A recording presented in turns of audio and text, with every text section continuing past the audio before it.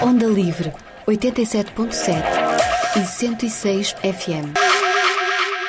Maria de Belém visitou esta segunda-feira Macedo de Cavaleiros, já em modo pré-campanha, onde aproveitou para convidar o provedor da Santa Casa da Misericórdia do Conselho para mandatário social do Distrito de Bragança.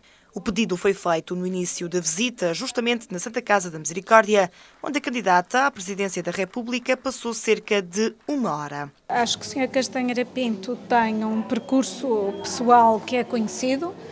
É uma pessoa que se dedica há longos anos às causas sociais e dedica-se há longos anos às causas sociais numa das zonas eh, mais difíceis do país. Nós sabemos que todo o interior do país tem problemas especiais, são territórios eh, fracamente povoados, eh, são territórios em que se verifica um grande envelhecimento da população e o Nordeste transmontano acrescenta também a essas características que são gerais, eh, acrescenta também condições climatéricas muito adversas e, portanto, ao fim e ao cabo, isto significa também distinguir uma pessoa que tem dedicado a sua vida a lutar pela melhoria das condições daqueles que são mais frágeis.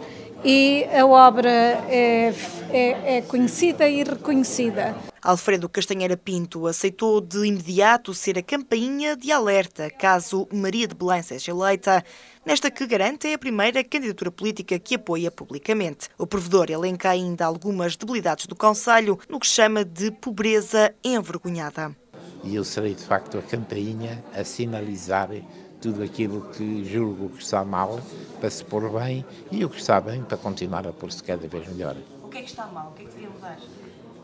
Há muita coisa. Há muita coisa que está mal. Muita gente aí a ter fome e que não tem que comer. Ou se tem que comer, não o procuram porque é uma pobreza envergonhada. Posso dizer isso. Há muita gente ainda cedo que tem fome e não nos procura, porque se nos procurar, nós temos solução para eles. Nós já estamos a dar apoio a uma dúzia de famílias que, são, que representam 56 refeições por dia e poderíamos dar a muitas mais.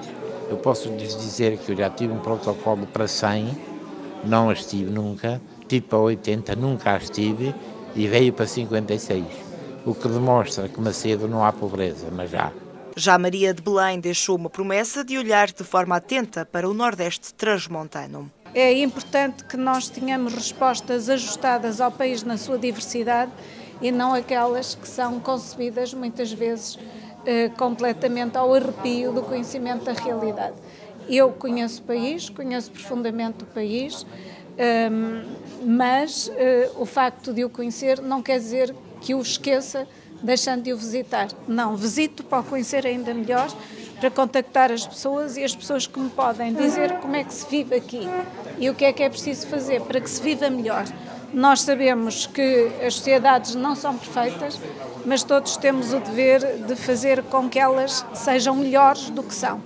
E temos o dever de uh, empenhar a nossa vida no sentido de, quando deixarmos de a ter, termos deixado de trás de nós uma sociedade melhor.